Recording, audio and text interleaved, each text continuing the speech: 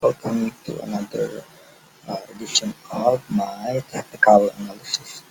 So today is May 5, 2019 and this is my weekly analysis for the coming week. So aside from the uh, currency pair that I showed you earlier, which is the uh, AUD USD, I also found USD USD uh, US dollar Canadian dollar pair as a uh, candidate for a uh, trade buy.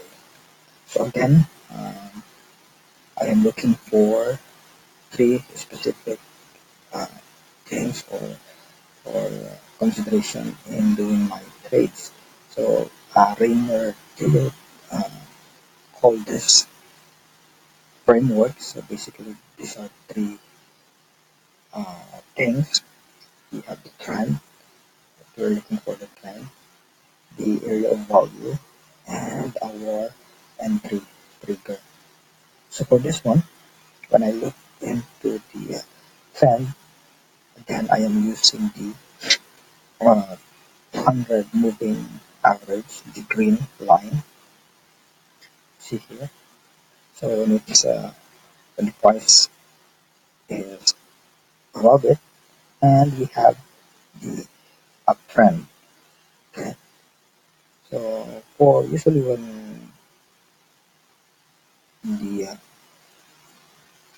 when it's an, an uptrend, we look for long positions, but there are also opportunities uh, for long positions. We also have the pullback wherein prices current temporarily moves against the trend. Okay, and then we have also breakout the resistance or support, but you have to be careful for false breakout. Also, you can also uh, failure test or trade on false breakout using candle long wick or price rejection. Okay, so why we consider USD dollar, USD Canadian dollar pair as a candidate for buy? So when I look at it, the trend is up, so there is a buy opportunity. I can also see that the May 3 candle is a pullback from May 1 breakout from 1.34027 resistance now support. So let me show you that. That's okay.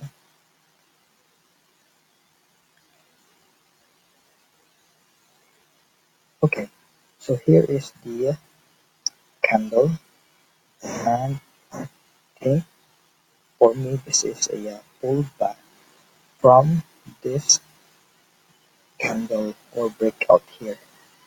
So that's why this is also one um, buying opportunity or buying setup at least in the trend uh, signal. So one area is or one thing that we can also look is the area of volume. So where we usually buy or sell, eh, that is the area of volume. So in this case, I am looking for it's near 1.34027 support. So this one, this line, line is the uh, support. Uh, I can uh, buy near that on the opening. Okay.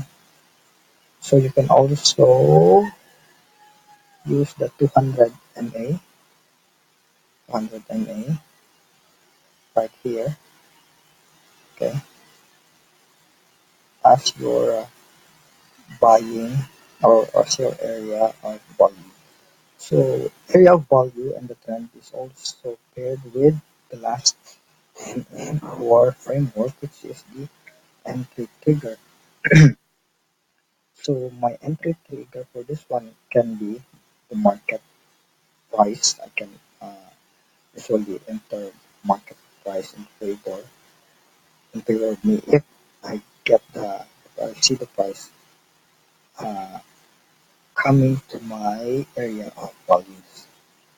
Okay.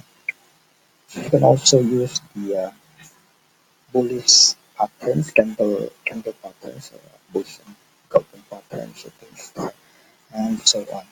You can also use stochastic, but on this uh, pair, I think uh, I don't, I didn't use the stochastic as my entry trigger. So after that, you need to set up your support or stop loss. So I got two possible stop loss here. So one is your support minus 1 ATR.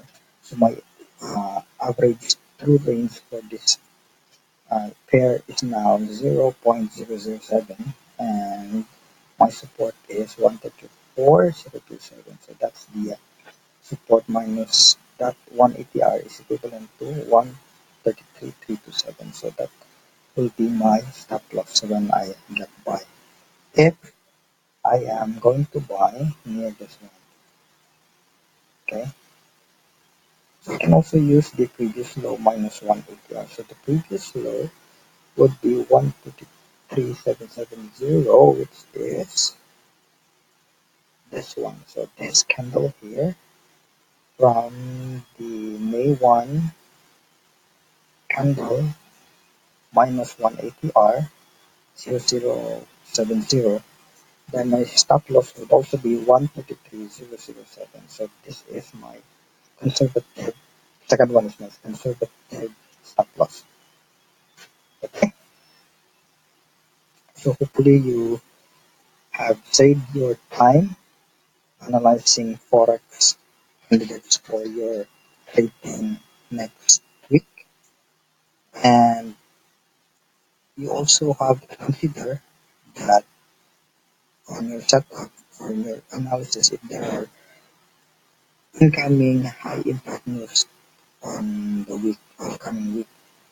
And I have seen um, a high impact news coming on Tuesday and Friday. So let's all be cautious in trading US dollar Canadian dollar pair so good luck traders so hopefully we all have a profitable trading week this week. Until next time and of course please do not forget to subscribe to my channel so you can receive immediately if I do have a new video on this channel. So thank you very much and see you soon.